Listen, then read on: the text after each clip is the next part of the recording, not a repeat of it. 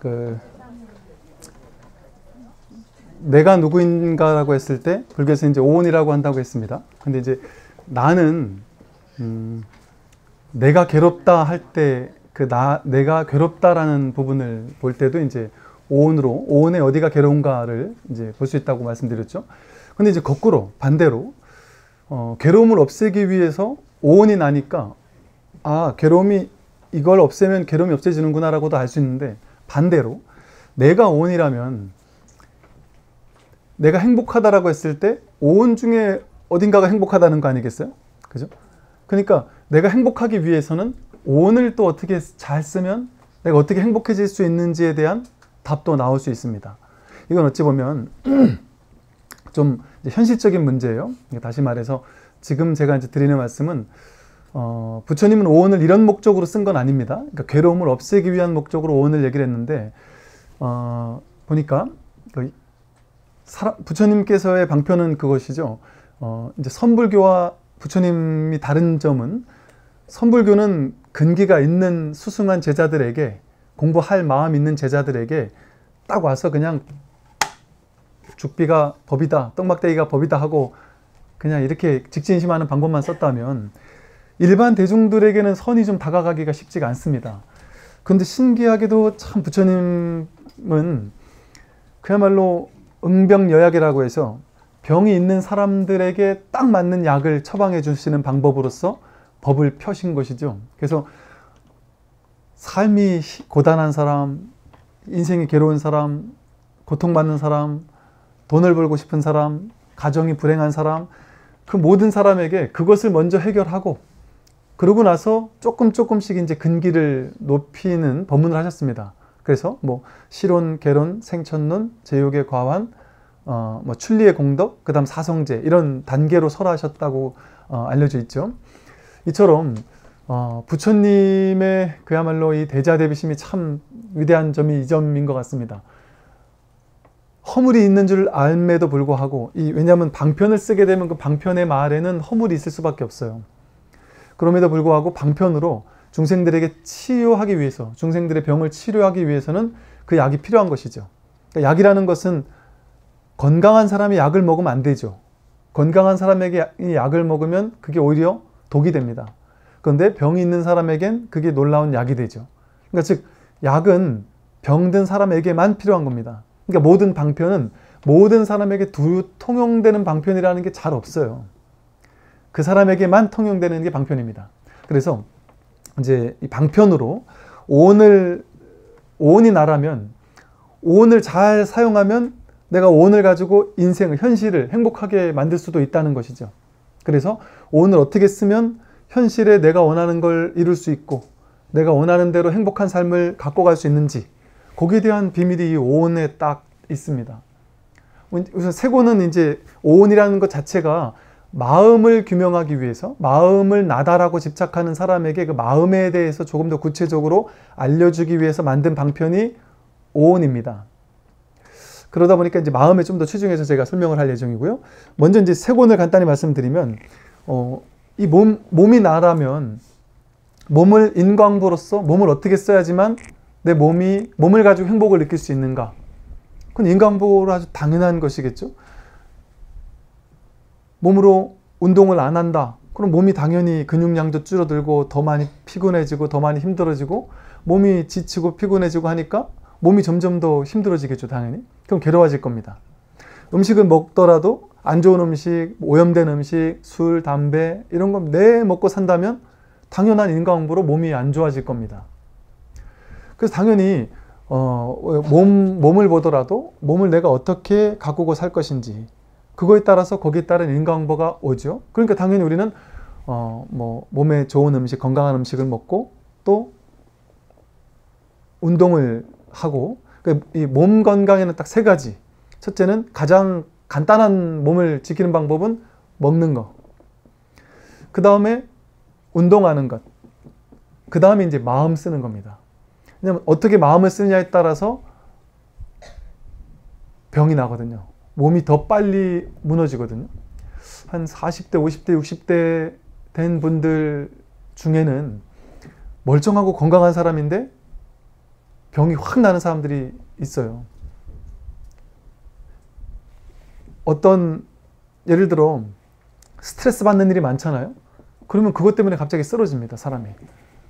갑자기 몸에 병이 확 오는 경우가 있어요. 강력한 괴로운 일이 확 엎친 데 덮치고 막 이렇게 되면 몸까지 갑자기 아파지죠.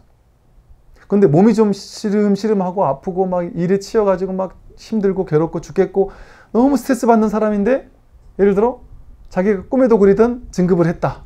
그럼 갑자기 병이 나버립니다. 아니 실제 그런 경우도 있어요. 병이 난다기보다는 되게 에너지 넘치는 사람으로 저렇게 뇌에 지쳐있던 사람이 저렇게 에너지 넘치고 건강한, 건강해질 수가 있나. 근데 또 반대로 또 딱 떨어졌다. 그랬을 때 갑자기 몸도 아파지고 막, 막 쓰러지고 이러는 경우도 있을 수가 있는 것이죠. 즉, 어, 마음이 몸 건강의 가장 큰 요인입니다. 몸 자체가 더 큰 요인이 아니라 마음이 더 큰 요인이에요. 그래서 이 수상행식이라는 마음을 잘 다스리면 이제 몸도 건강해지기가 쉬운 것이죠. 첫 번째 수온인데요. 그 수온이 첫 번째 나온 것을 이제 또 한번 주목을 하는데 어, 가장 우리 현실의 현실을 빨리 바꿀 수 있는 마음 그게 수온이라는 겁니다. 즉 직접적으로 현실을 강력하게 바꾸고 싶다.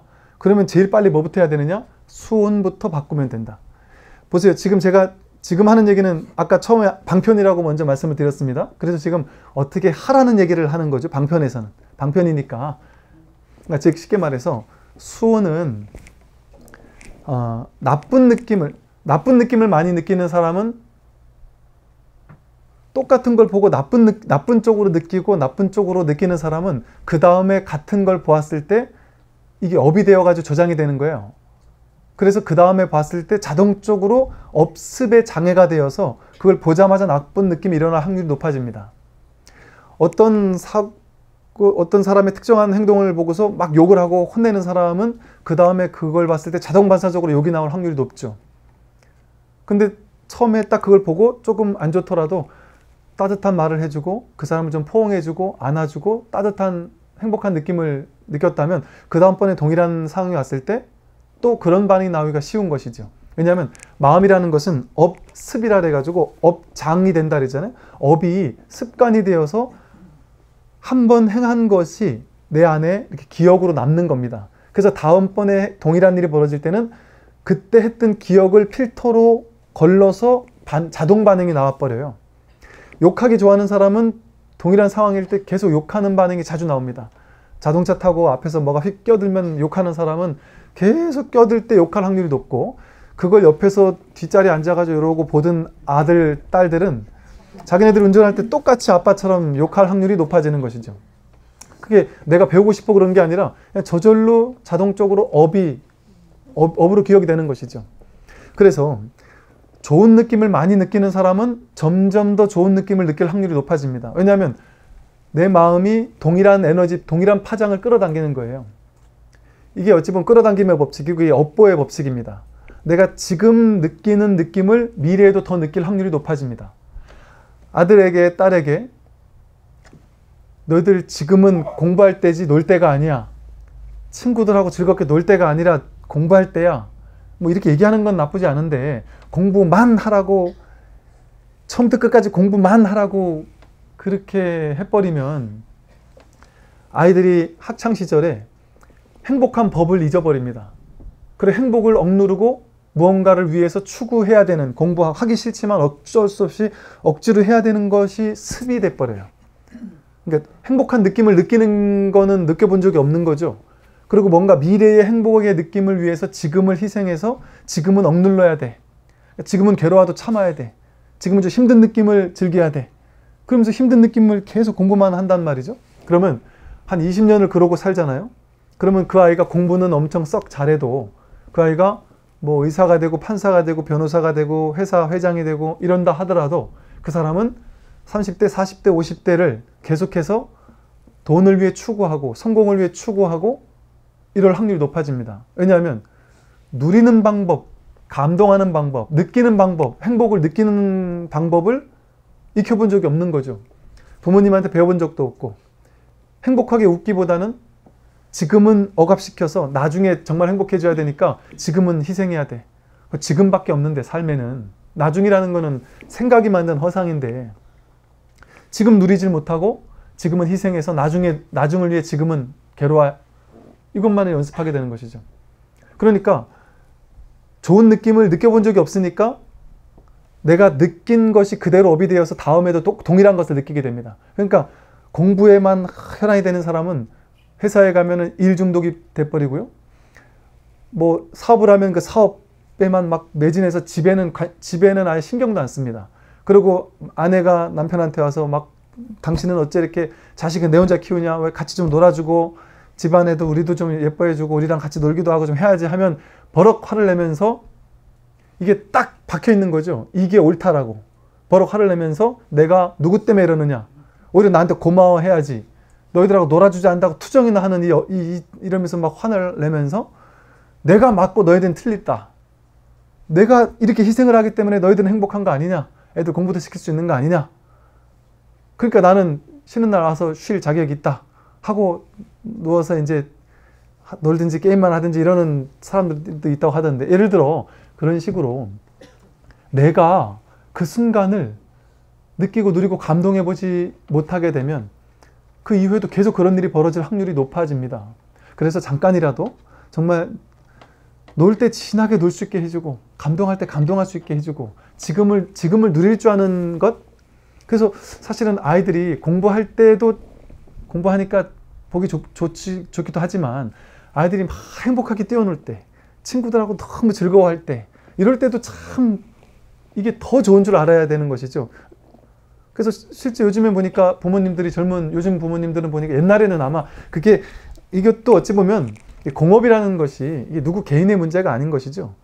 사회적인 옛날 어르신들은 어쩔 수 없이 일박 당장 입에 풀칠할 게 없으니까 앞만 보고 일할 수밖에 없었던 그런 시대인 것 같고 지금은 이제 좀 그분들이 다 만들어 놓은 토대로 이치고 요즘 젊은 사람들은 좀 여유 있게 살 수 있으니까 이제 좀 그런 걸 알고 뭐 캠핑도 가고 애들 뭐 체험도 시키고 뭐 이런다고 하는데 이제 그런 것들이 그만큼 자연을 느끼고 누리고 감동할 수 있는 어떤 이런 것들이 필요한 것이죠. 이처럼 예를 들어 여러분들이 미래를 행복한 행복을 느끼고 싶어요.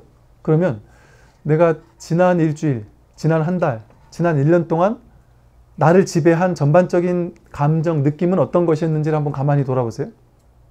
나는 나쁜 느낌을 더 많이 나쁜 느낌 속에서 주로 있었나? 아니면 좋은 느낌 속에서 주로 있었나? 행복감 속에서 주로 있었나? 불행한 느낌 속에서 주로 있었나? 나는 풍요로운 느낌을 느끼고 사는가? 나는 결핍감에 늘 사로잡혀 사는가? 내가 느끼던 그것을 앞으로의 미래에도 동일한 것을 느낄 확률이 높을 겁니다. 단, 복과 지혜, 복을 짓고 지혜를 닦는 이렇게 마음 공부를 하고 이런 사람들은 그 업을 뛰어넘을 수 있는 또, 또 다른 힘이 생기니까. 아, 그래서 아마 이렇게 복과 지혜를 닦는 공부를 하는 것일 것이고요. 일반적인 사람이라면 거의 그대로, 그 흐름대로 갑니다. 그럼 이렇게 얘기를 하면 느낌은 정해져 있는 건데 내가 지금 돈이 없는 사람은 당연히 안 좋은 느낌을 느낄 수밖에 없고 아버지가 막 성격이 막 해서 자식을 막 괴롭히면 자식은 괴로움을 느낄 수밖에 없고 우리 회사가 문제가 있으면 그 회사에서 나는 괴로, 느, 나쁜 느낌을 느낄 수밖에 없다. 삶이 괴로운 느낌밖에 안 나오게 만드는데 내가 어떻게 거기서 행복을 느낄 것이냐. 이렇게 얘기를 합니다. 그 삶의 상황이 느낌을 정한다라고 나는 그렇게 믿고 있는 것이죠. 상황 때문에 나는 어쩔 수 없다. 그러니까 내가 상황에 휘둘리는 존재인 것처럼 규정을 짓는 겁니다. 사실은 느낌은 상황에서 오지 않습니다. 제가 뭐 이런 비유를 드는 것처럼 그 덥고 너무 막 무더워서 막 땀이 가만히 있어 땀이 줄줄줄 나면 첫째 느낌은 되게 짜증나는 느낌인데 또 하나의 느낌은 사우나에서 막 시원하다고 하면서 제가 어느 날 보니까 사우나에 가서 어떤 거사님이 주인한테 막 따지더라고요. 충분히 뜨거운데 사우나를 이렇게 시원하게 해놨냐면서 더 뜨겁게 해달라면서 막 뜨거워야지 사우나가 말이지 막 그냥 이러면서 막 화를 내시더라고요. 그러니까 더 뜨거운 거를 또 추구한단 말이에요. 동일한 상황이 좋게 느낄 수도 있고 나쁘게 느낄 수도 있습니다. 똑같은 상황인데 똑같은 상황을 할 때 내가 어떤 상황이냐에 따라서 그게 좋아지기도 하고 나빠지기도 해요. 예를 들어 여행을 가는 것도 가기 싫은데 억지로 끌려가면 예를 들어 아버지가 산에 가자 그래서 자식을 끌고 가는데 정말 가기 싫거나 회사 부장님이 사장님이 산에 가자 그래서 난 가기 싫은데 억지로 끌려가면은 정말 짜증스럽겠죠. 근데 본인이 너무 행복해서 너무 원해서 너무너무 산에 가고 싶어서 산에 가면 그 산길을 걸으면서 그 무거운 걸 짊어지고 산길을 내 걸으면서도 너무나도 행복한 것이죠. 히말라야 그 호흡도 부족한 산에 가면서도 너무나도 행복하게 그 산을 걷는 것이죠. 근데 가기 싫어서 억지로 가면 그것처럼 고행이 없겠죠. 히말라야를 가는 것처럼 그처럼 고행이 어디 있겠습니까? 힘들기로 따진다면. 그러니까 똑같은 행위가 누군가에게는 힘들고 괴로운 느낌을 발생시키고요. 누군가에게는 좋은 느낌을 발생시킵니다. 또한 이렇게 봄에 봄꽃이 아름다운 이 계절에 이 봄꽃을 느끼고 누리고 감동해 보지 못한 사람은 평생 그걸 감동해 볼 새가 없어요. 무슨 이유로 무슨 이유로. 다른 곳에 쉽게 말해서 사로잡혀 있으면 집착해 있으면 꽂혀 있으면 이미 충분히 내가 느끼고 누리고 만끽할 수 있는 무한한 것들이 많은데도 불구하고 그걸 전혀 느끼질 못합니다. 이 스마트폰 너머에 이렇게 아름다운 봄이 와 있는데 이 스마트폰에 사로잡혀서 혹은 이 게임에 사로잡혀서 혹은 뭐 특정한 거에 사로잡혀서 그 바깥을 전혀 감상할 수 있는 여유를 잃어버리는 것이죠. 이처럼 내가 나는 좋은 느낌을 느낄 상황이 아니라서 나쁜 느낌을 느끼는데 그럼 나 어쩌란 말이냐? 그게 그런 상황이 정해져 있는 것이 아닙니다. 심지어 죽음이 정해져 있는 시한부 인생을 사는 사람도 그거를 온전히 받아들이고 나면 그 시한부 인생을 살다가 돌아가신 분 살아 그 돌아가시기 전에 인터뷰한 내용들을 보니까 완전히 이 죽음에 대해서 받아들이고 났더니 그렇게 행복하고 평화로울 수가 없더라고 하면서 나는 태어나서 처음으로 아침 햇살이 이렇게 따뜻하고 이렇게 눈부시게 아름다운 것인지를 처음 경험했다. 이렇게 이 병원 산책을 이렇게 하면서 나무를 바라보는 즐거움, 오후에 햇살을 맞는 즐거움, 또 산책을 하다가 아이들이 막 뛰어노는 그 소리를 듣는 즐거움, 그런 것들이 이렇게 감동스럽고 이렇게 즐겁고 이렇게 행복한 것이라는 사실을 나는 왜 지금까지 살면서 느껴보지 한 번도 느껴보지 못했는지 아마 나는 내가 더 많이 살더라도 지금처럼 살다가 죽었을 것이다. 그런 걸 따진다면 지금 이렇게 시한부 인생을 몇 달이라도 살다가 죽는 것이 나에겐 축복과 같다. 왜? 이렇게 아름다운 세상을 내가 잠시라도 느끼고 누리고 갈 수 있기 때문에. 그러니까 이렇게 아름다운 세상을 누리다 보니까 그동안은 계속 원망만 하던 아내가 너무 고마웠게 느껴지고 너무 미안하게 느껴지고 사랑한다는 말도 하게 되고 아이들에게도 관심 전혀 두지 않았다가 아이들에게도 미안하다 사랑한다고 하면서 이야기해주고 그러면서 몇 달을 보낸 것이 나에게는 더 없는 축복이었다고 그렇게 얘기를 하거든요. 그러니까 죽음이 온다고 해서 죽음이 올 상황이라고 해서 무조건 괴로움을 느낌을 느껴야 되느냐? 그건 정해진 것이 아닙니다. 죽음을, 죽음이 오는 상황이라고 해서 다 괴로워해야 되는 것은 아닐 수도 있다. 그러니까 정해진 고정된 좋은 느낌, 나쁜 느낌이 정해진 게 없습니다. 식온이 수온이라는 것은 뭐야? 공한 것이기 때문에 정해진 게 없습니다. 그래서 내가 내가 주인으로서 선택할 수 있어요. 무엇을 느낄 것인지, 삶에서 내가 무엇을 느낄 것인지. 나쁜 걸 느끼면 나쁜 미래가 벌어집니다. 좋은 걸 느끼면 좋은 미래가 벌어집니다. 그런데 좋다고 나쁘다고 해석하지 않고 그냥 있는 그대로를 느끼면 해탈을 경험합니다. 그러니까 제가 지금 말씀드리는 것은 좋은, 나쁜 느낌을 느끼느니 좋은 느낌을 느낌으로써 느끼는 것을 습관을 들이고 습을 들임으로써 그래서 불교에서도 처음에는 복지어라, 보시해라, 남들에게 사랑을 나누어라 이런 얘기를 하는 이유가 더 긍정적이고 밝고 원만한 이런 행동을 하고 그런 업을 지음으로써 내 삶을 먼저 가꾸라는 것이죠. 내가 남들에게 베푼다라는 것 자체가 내가 나한테 있으니까 주는 거 아니에요. 내가 있다라는 마음을 강화시켜요. 풍요로운 마음을 강화시킵니다. 근데 남들 거 자꾸 뺏어가야지 벌어야지 하는 마음은 없다, 결핍됐다라는 걸 자꾸 내 안에서 연습을 시켜요. 그러면 점점 가난해질 수밖에 없습니다. 근데 자꾸 베푸는 사람은 내 안에서 자꾸 풍요로움, 넉넉함이 연, 습이 되기 때문에 그 사람은 더욱더 부유해지기가 쉽겠죠. 이처럼 나쁜 것을 느끼느니 좋은 것을 느낌으로써 좋은 것을 창조하는 것이 좋은 것이죠. 느낌도 그렇지만 생각도 마찬가지입니다. 어떤 생각을 하고 사느냐를 자기 스스로 선택합니다. 이 삶을 어떤 곳인지, 삶은 정말 한번 살아볼 만한 정말 아름다운 곳이라고 느낄 것인지, 아니면 삶은 정말 부조리하고 이 그런 사람들 많잖아요.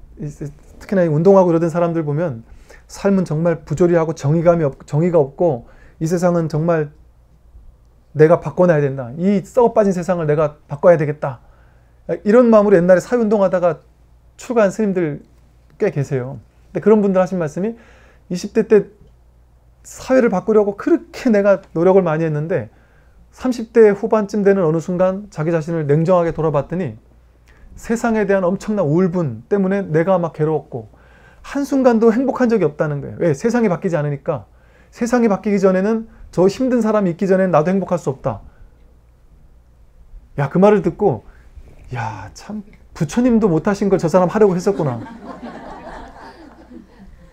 이거 불가능한 일입니다. 세상을 완벽하게 바꾸겠다는 건 불가능한 일입니다. 금강경에서 뭐라 그랬어요? 칠보로 일곱 개 금은 보화, 어마어마한 금은 보화를 가지고 모든 사람에게 다 퍼주고 나눠주고 그 사람들 집안에 온 세계다가 다 깔아줘도 그것보다 법을 하나 가르쳐 주는 게 공부를 하나 가르쳐 주는 게 더 큰 못이다. 왜 그랬을까요? 돈이 없는 사람에게 돈을 무수히 많이 퍼주는 게 본질적이지 않습니다. 그 돈을 가지고 나쁜 짓 하는 사람은 영원히 나쁜 짓 할 겁니다. 자기 업을 먼저 바꿔야지. 자기 마음 공부를 먼저 바꿔야지. 이 업을 바꾸지 않고 돈만 갖다 줘봐야 그거 가지고 무기를 사서 전쟁을 또 할 수도 있어요. 그러니까 그런 이상적인 세계를 위해서 하는 건 좋지만 당연히 하지 말라는 건 아닙니다. 그것을 그게 가슴 뛰는 사람은 그걸 내가 할 인연이 있는 사람은 그게 내 인연인 겁니다. 그게 법인 거예요. 그게 진리인 거예요. 그럼 그 사람 그걸 하면 됩니다. 그런데 그것만이 전부고 그거 아니면 절대 안 된다라고 집착을 하게 되고 저 사람은 틀렸고 나는 옳다고 집착하게 되면 내가 괴로워집니다. 사실은 어, 보수나 진보가 있다. 그러면 진보가 정권을 잡으면 보수 진영에서는 막 욕을 하고 또 이제 보수가 잡으면 진보에서는 욕을 합니다. 진보도 좋고 보수도 좋습니다. 여러분들은 뭐 보수를 택해도 좋고 진보를 택해도 상관없어요. 그런데 지혜로운 부처님 가르침을 공부하는 중도적인 사람이라면 보수이면서 쉽게 말해 중도적인 보수, 부처님 중도의 보수, 즉 보수의 가치를 과도하게 사로잡혀서 집착해서 이것만이 절대 진리라 저놈들은 진보놈들은 다 나쁜 놈들이고 다 이상한 사람들이다. 우리 내 생각만이 옳다. 여기에 과도하게 집착하지 않는 사람. 진보도 진보라는 이치를 표방하는 건 좋은데 이것만이 절대 진리라 저 보수인 사람들은 정말 잘못됐다라는 생각을 절대적인 진리로 생각하면서 저 사람들과 싸우려 하지 않는 그렇게 되면 무쟁산매가 되질 않아요. 계속 싸우게 되고 이렇게 극단적인 사람은 서로 대화가 되질 않습니다. 우리나라도 바른 정치가 되려면 부처님 중도 사상, 즉 무엇을 하더라도 그건 상관없어요. 자기 생각은 다 있을 수 있으니까. 근데 거기 과도하게 치우치지 않는 사람들이 정치를 하면 이게 그냥 어물쩡한 중간에 있는 중도를 얘기한 정치적 중도가 아니라 지혜의 중도. 자기 생각 있을 수 있는 것이죠. 그래서 이런 불자들이 공, 마음 공부하는 사람들이 정치를 많이 해야 여기에도 그런 지혜로운 사람들이 있고 이쪽에도 그런 지혜로운 사람들이 있고 그래서 이 세상에 함께 이렇게 화합이 되고 융화가 되고 그야말로 화합승이라고 하듯이 이 세상이 우리나라가 하나로 화합할 수 있는 이런 토대가 마련되는 것이거든요. 그런데 절대적으로 이 부처님 법문하는 앞에 아파, 앉아서 하지 말아야 될 두 가지 얘기가 있고 사람들도 마찬가지죠. 하지 말아야 될 두 가지 얘기가 있죠. 그 얘기 나오면 무조건 싸우는 정치 얘기 아니면 종교 얘기. 음. 그렇게 사이가 좋다가 얘기 나오면 막 네가 많이 내가 많이 싸울 수 있고요. 그렇게 사이 좋다가 얘기 나오면 또 부모 자식지 간에 막또 네, 싸우기도 하고 된단 말이죠. 그게 어떤 특정한 가치를 과도하게 사로잡히고 집착해서 그것만이 절대적으로 옳다라고 여기면 그게 다툼을 가져올 수밖에 없는 것이죠. 그런 바른 지혜가 아닌 것이죠. 그래서 이 상원이라는 생각이라는 것도 특정한 생각에 과도하게 집착하고 사로잡히게 되면 그로 인해서 괴로워질 수밖에 없습니다. 그것이 나를 힘들고 괴롭게 만들 수밖에 없죠. 그래서 기왕 이제 생각을 가지고 우리는 삶을 사니까 어떤 특정한 생각을 해야 된다면 부정적인 생각을 하기보다는 자꾸 긍정적인 생각을 하도록 노력하는 게 당연히 좋겠죠. 왜냐하면 좋은 생각을 많이 하면 좋은 결과가 업보로서 찾아오니까. 그리고 또 지금 한번 좋은 생각을 하는 연습을 들이면 그 다음에 동일한 상황에 좋은 생각 쪽으로 갈 확률이 훨씬 높아지니까. 빈익빈 부익부처럼 정신적인 가치도 마찬가지예요. 밝은 쪽으로 마음을 많이 쓰는 사람은 점점 더 지혜로워지고 어두운 쪽으로 쓰는 사람은 점점 더 그쪽으로 물들 확률이 높아지는 것이죠. 왜 그러냐? 생각이라는 게 실체가 없기 때문에 정해진 것이 없기 때문에 내 스스로 선택할 수 있습니다. 내가 그 생각의 주인이 되어서 생각을 주인으로서 쓰면서 살아갈 수가 있는 것이죠. 행운 이 사실은 제일 중요한 부분인데 어떻게 행운을 쓰냐에 따라서 내 인생이 내가 행운이라는 건 의지를 가지고 원하는 걸 이루겠다라는 마음을 내는 거잖아요. 어떻게 하면 원하는 걸 이룰 수 있느냐. 내가 나는 물론 이제 우리는 마음을 비우고 산다 이런 얘기도 하지만 마음을 비우고만 살아서는 당장 학교도 보내야 되고 밥벌어 먹기도 살아야 되고 이런데 그렇게만 해서 어떻게 살 수 있겠습니까? 원하는 것을 이루는 건 불교가 아니다? 절대 그렇지 않습니다. 삶을 살아가는 게 불교고 내가 사는 지금 이대로의 삶이 다 불법이 아닌 게 없어요. 그러니까 부처님이 정치는 이렇게 해야 된다. 돈을 벌 때는 이렇게 장자들은 이렇게 돈을 벌어야 된다. 경제인들은 이렇게 해야 되고 선생님은 이렇게 해야 되고 다 이렇게 설을 하셨단 말이죠. 그러니까 부처님은 무조건 다 하지 마라. 다, 다 허망하니까 다 쓸데없다. 이렇게 얘기하신 분이 아닙니다. 그래서 이 행운의 이치를 알면 이 행운의 이치가 보면 상당히 깊이가 있는 금강경의 가르침이 사실은 이 행운무화 를 설하고 있다고 해도 과언이 아닐 정도로 물론 이제 상온무화와 행온무화를 설하고 있다고 해도 과언이 아닐 정도의 경전입니다. 너무 중요한 부분이에요. 그래서 다음 주에 하겠습니다.